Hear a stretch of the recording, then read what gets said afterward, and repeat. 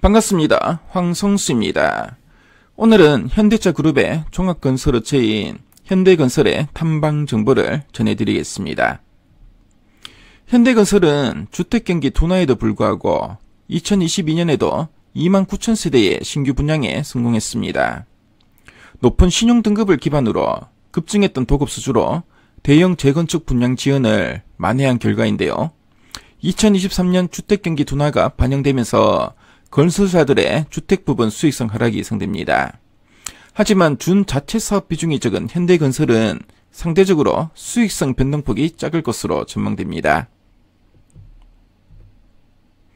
한편 현대건설의 미착공 PF에 대해 시장에 우려가 있지만 서울 내 고수익 개발 사업으로 2023년부터 2024년 착공 예정에 있고요. 경쟁력 있는 토지비로 인해 금융 비용 증가분을 반영해도 수익성은 양호할 것으로 기대됩니다. 우려는 불필요해 보이는데요. 해당 사업장들은 오히려 향후 국내 실적 하락을 방어해주는 역할을 할 것으로 기대됩니다. 현대건설은 올 6월 7천억 규모의 네옴시티 running tunnel 공사를 수주했습니다. 그 외 현재 8건의 안건에 대해 입찰을 준비하고 있는데요.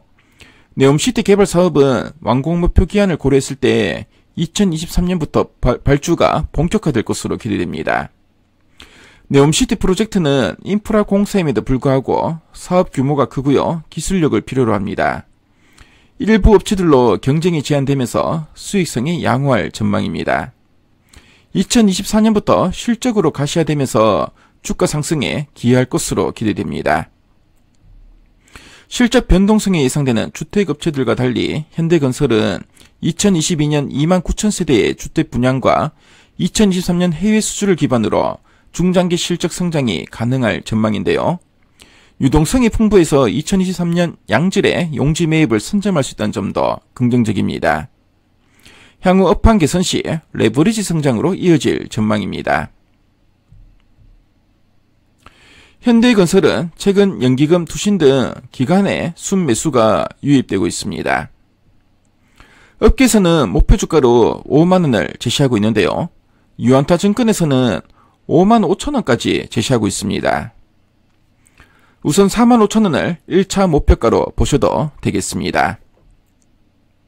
현대건설의 탐방 정보를 말씀드렸는데요. 지금까지 황성수였습니다.